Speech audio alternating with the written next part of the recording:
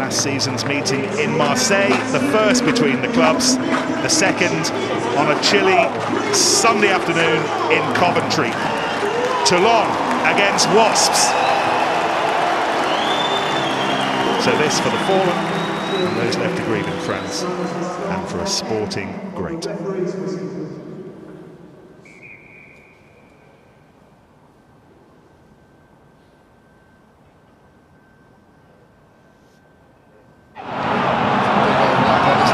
Side if they can get right across the field now but straighten those numbers up.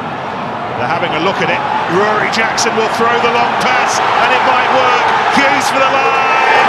Scores.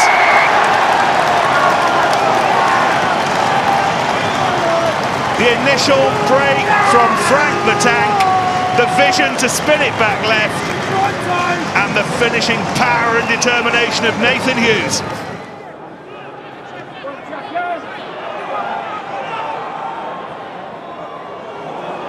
Chipped over the top. Simpson has it. Haskell has it. Back inside. Charge for the line for Jackson. And it is a dream start for Wasps. They've scored two against the champions in two minutes.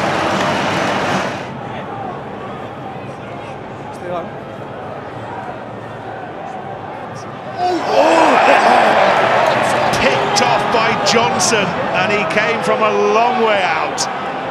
And Chilachava will be in the process of counting ribs right now. Simpson has to chase backwards, and he did well. And this is Wade from a standing start, but he tries to find his own momentum. Gathered in by Tuisova, and now Piutau for the first time inside, and Wasp will score another cracker. Frank Halai just about got there.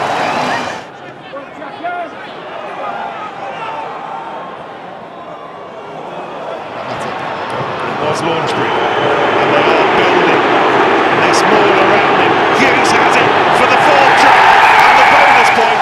And these are dreamy days for Wasps in Europe. They've got four tries against the champions. They're romping away with this. But English clubs in Europe, all of them, have won every game in one single weekend. The World Cup becoming a distant memory in the wing mirror.